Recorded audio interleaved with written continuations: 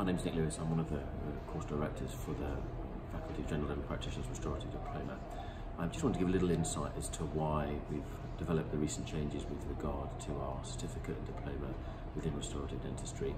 It's a successful course, it's been running for 15 years now, but this year we changed the development of the course in respect to the setup in that we're now running a one-year certificate and a two-year diploma.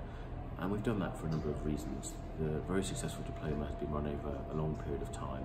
but we wanted to ensure that today's course could be reflective of some versatility in the way we deliver the education, as well as to give a little bit more flexibility for graduates who may only want to commit to a year rather than a two-year programme. The new structure of the course doesn't affect our well-established articulation with some of the UK universities for moving on to an MSc after completion of the diploma, but the new structure allows those that only wish to commit to a year to undertake that training first before then committing to further study with the ongoing diploma and MSc at a further level.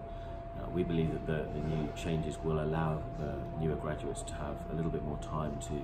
accommodate to the nature of the postgraduate course, as well as allowing me, if they wish to, to then move on to the more advanced training uh, as a second stage application.